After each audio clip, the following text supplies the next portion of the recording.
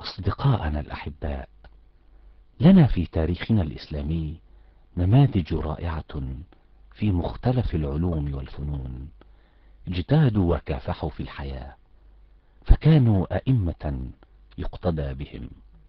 من هؤلاء الأئمة الأربعة أبو حنيفة ومالك والشافعي وأحمد بن حنبل. عاشوا مع القرآن الكريم والسنة النبوية الشريفة وأخبار الصحابة والتابعين فهما وعملا. فخرجوا لنا بسلوكيات جميلة فكانوا في أعلى المراتب وأرفعها. والأئمة الأربعة أصدقائي مصطلح اشتهر بين خاصة المسلمين وعامتهم إذ كتب الله لهؤلاء الأئمة توفيقا ونجاحا نادر المثيل.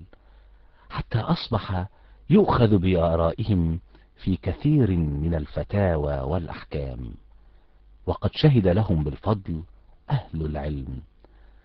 قال النضر بن شميل عن أبي حنيفة كان الناس نياما في الفقه حتى أيقظهم أبو حنيفة.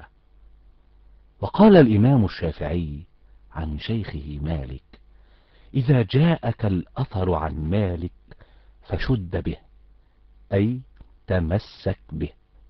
وإذا جاء الخبر فمالك النجم وإذا ذكر العلماء فمالك النجم. ولم يبلغ أحد في العلم مبلغ مالك لحفظه وإتقانه وصيانته. ومن أراد الحديث الصحيح فعليه بمالك. وقال أحمد بن حنبل لولده عبد الله عن شيخه الشافعي يا بني كان الشافعي كالشمس للدنيا والعافية للبدن فهل نرى لهذين من خلف أو عنهما من عوض؟ أصدقائنا الأحباء لقد أثرى الأئمة الأربعة الفقه إثراء رائعا وتتلمذ على أيديهم أناس حرروا مسائل العلم ونشروه في أرجاء المعمورة.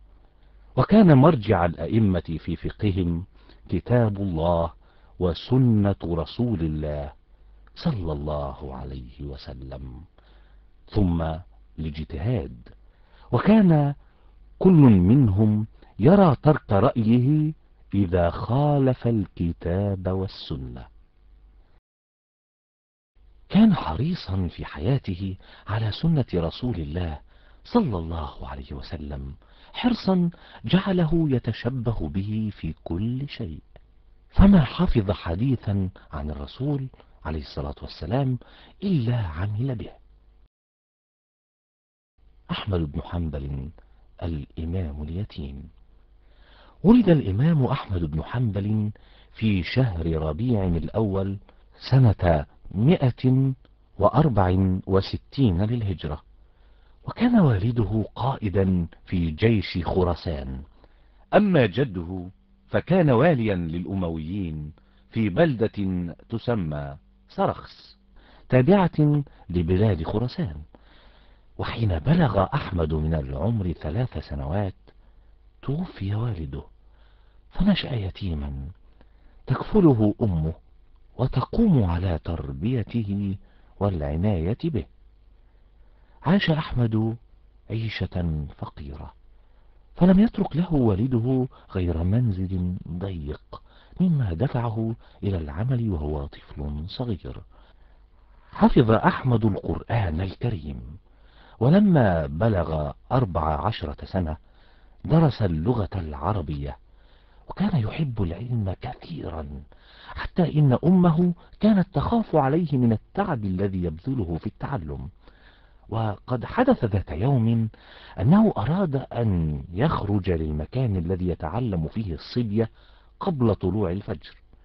فجذبته أمه من ثوبه وقالت له يا أحمد انتظر انتظر حتى يستيقظ الناس. بره بأمه.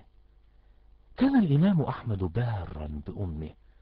فقد حفظ أحمد وهو صغير أن الرسول صلى الله عليه وسلم سئل عن أحق الناس بالرعاية فأجاب سائله أمك. وأعاد السائل سؤاله مرتين فأجابه أمك ثم أمك ثم أبوك. كان مدينا لأمه بكل شيء لأنها لقنته منذ صباه الكثير مما حفظه من السير والأحاديث وقصص البطولات ورسخت في أعماقه منذ كان طفلا قيم الإسلام الفاضلة. وهي التي اختارت له المكتب الذي يتعلم فيه القرآن ثم الشيوخ الذين يجلس إليهم بعد أن حفظ القرآن. ليطلب عندهم الحديث والفقه وكانت تخاف عليه وهو صغير برد الفجر إذا خرج إلى الدرس قبيل الأذان. ومن دلائل طاعته لأمه ما حكاه بعض العلماء من أنه حينما كان في الخامسة عشرة جاء إلى بغداد عالم عظيم وأقام على الضفة المقابلة لدار أحمد بن حنبل وفاض نهر دجلة وارتفع الموج حتى ترك هارون الرشيد قصره ونزل بأهله وأمواله وحاشيته إلى سفن له ولكن طلاب العلم هرعوا إلى العالم على الضفة الأخرى في الزوارق وأبى أحمد حين دعاه زملاؤه إلى العبور قائلا أمي لا تدعني أركب الماء في هذا الفيضان.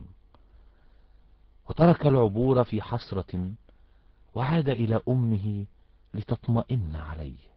ومما يؤكد بره لأمه أنه أبى الزواج مبكرا ليتفرغ للعطف عليها وعونها فما تزوج إلا بعد أن ماتت.